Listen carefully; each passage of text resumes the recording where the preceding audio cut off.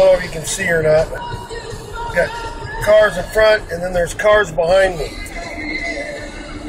Okay, here's my rant.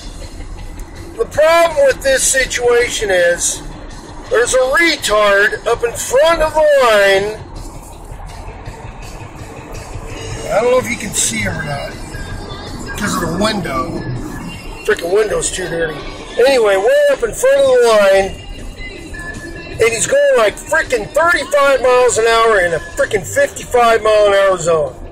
We got a two lane highway, and yeah, I got 12, 13, 12 cars behind me, and one, two, three, four, five, six, seven cars ahead of me. This freaking guy is such a retard. Oh my god. Oh, and there's been like, I don't know, 20 places to pull over to let all these traffic by, but no. This retard's got to go. So I'm afraid to drive at night. Oh,